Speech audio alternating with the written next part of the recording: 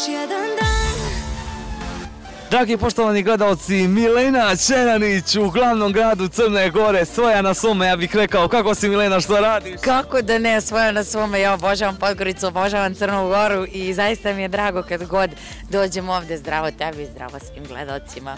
Kad... Mnogo mi je drago što te vidim, vidim te posle jako dugog perioda, baš se dugo nismo videli. Nismo se dugo, ali gledat ćemo se. bilo. Ide ljeto, ide ljeto, sada, sada će Crnogorsko primorje da se aktivira, ti si tu glavna, nemaš što. Nema, što lepo si to rekao. Sve sabereš i oduzmeš, ništa bez Crne Gore, jel tako? Ništa bez Crne Gore, pa nema šanse. Ja Crnu Goru, Crna Gora je moja druga kuća. Ja sam možda čak i više vremena provela u Crnoj Gori nego u Srbiji. E, Milena, večeras odlično izgledaš, moramo da kažemo, ali e, tvoj... Ja uvek dobro. Dobro, tvoj, tvoj prepoznativ styling, ali čovječe, svi me pitaju tako dobro tijelo i sve, hoće li se više Milena skinuti? To me svi pitaju. A, skidam se samo tamo gde treba. A dobro, ne mislimo nego hoće li malo nešto biti otvorenije, možda neki šorčić. e, Pa ne, znaš šta, iskreno, Šorčić uvek, da, to, to uvek dolazi u obzir i sve mi, sve mi, sve mi je okej što je u nekoj dozi normale i sve što je seksi ali ne i vulgarno. Znaš, ne volim kad je nešto vulgarno, prosto ja se lepo ne osjećam u tome, ne mogu, stalno razmišljam da li mi se ovo pomerilo, da li mi se ovo videlo, a pošto i ti vrlo dobro znaš, a i svi moji, ovaj, dra- moja draga berna publika koja prati ono što ja radim, znaju da sam totalno nestalna na bini i, ovaj, i da zaista bi se 100% neko, nešto videlo. a, da- a da li pjevačice danas e, pretjeruju? Jer im se mnogo toga vidi. E, pa ne bih ja baš nešto puno o tome. Njihov, Ali vidi se! njihov izbor i njihova lična stvar, samo smatram da e, je žena e, samim tim što je žena dovoljno seksi i da mislim da može na, na, na mnogo bolji način da po- pokaže svoju seksualnost, e, ali ne tako što će se skinuti gola. Totalno drugačiji muzički pravac, povredi me, kako je to prošlo, u Crnoj Gori se sluša, ja to znam. E, prošlo je odlično, na moje zadovoljstvo, e, ovaj, nešto novo od mene, ali to je zapravo muzika u kojoj se ja e, više pronalazim nego kao neki više folk. Ali ja se prilagođavam trendu što se muzike tiče i rado ću otpevati nešto još urbanije, tako da vidim, vidiš, možda neki trep. Ovaj, imam, imam, imamo to nešto u glavi. Vidjet ćemo. Pa ko ste povrijedio posljednji put? Možemo li da znamo? Ko me povredio posljednji? Možda neki muškarac, da li te povrijedio? Pa ne, mene mogu da povrede samo jako dragi ljudi. Ali, pa nije me bre niko povredio. Baš su onako super prema meni, baš su dobri. Ima li večeras možda u Podgorici neko na nastupu nepoželjan ili su svi dobrodošli? Ne, uvek su svi dobrodošli, ne postoji, prosto zaista ne postoji nepoželjna osoba, posebno kad su moji nastupi u pitanju. Ovako, kako ona tvoja čuvena kaže, i zato postavit ću barikadu da oni oženjeni više ne prilaze meni. pa sada mene interesuje, tvoje mlađe koleginice mi se uvijek žale da ih uglavnom u posljednje vrijeme muvaju oženjeni. Pa, što bi im ti preporučila? Kakva je situacija sa tobom? Šta bi mi ja preporučila? Da ih više ne muvaju oženjeni. Ne, ne, pa prosto je normalna stvar da svako ima pravo da radi ono što hoće, samo je e, na onom drugom izbor da li hoće ili neće. Samo što nekad e, baš i ne slušamo pamet i nemamo izbora kad srce već odluči, ako se vodimo srcem. Ja sam tako se vodi srcem i ipak bih ja sve to ostavila tamo negde.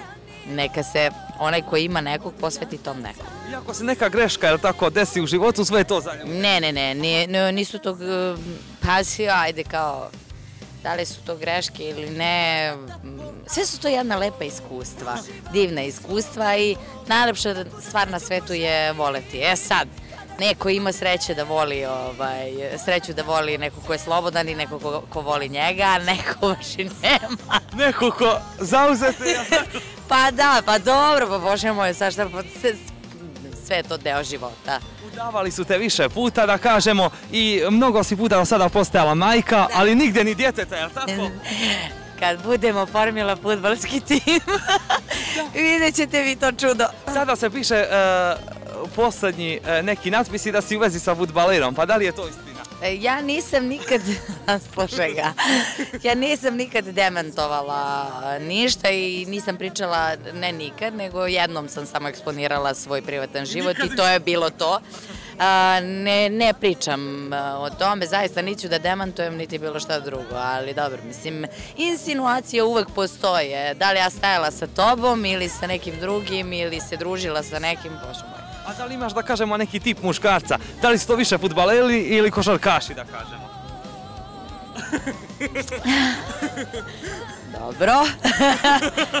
Ne, a, sada, sa svoje 33 godine, ne postoji tip. A, bitno je samo da me voli onako kako ja zaslužujem i to je to. A ovaj, mislim da gospodin hoće da prođe, pa ajde da mu se, da mu se pomerimo. Tako. Ovaj, ne postoji. Lažem, ja sam, e, kad je tip muškarca u pitanju, ja sam to imala i to je to. Ali nikad više, mislim, Ne, ne, ne, ne, ne, ne znači, nego zaista sad sam, prosto dođeš u te godine, znaš šta, kad sa 20 i, i sa 30, 30 e, e, drugačije aršine imaš i drugačije biraš. Ovaj, super bi bilo, ja zaista sam to čula od jedne moje koleginice, starije koleginice, i stažno i ovako, kada je rekla najbitnije mi je način na koji me voli, muškarac. Ali ne bi se bunila i da ima pločice i da je zgodan i sve to uopšte se ne bi bunila. pa eto, Vuk Mob ima pločice, ima kuću na Dedinju. Nema pločice. Nema pločice. Ovaj, što moramo da idemo? Mora Bože da se ispoštuje, mrvice. Čim je čula Vuk Mob mora da ide. Ne, ne, ne, ne, ne, e, ne, nema Vuk pločice, nema, pa vi to svi znate, da.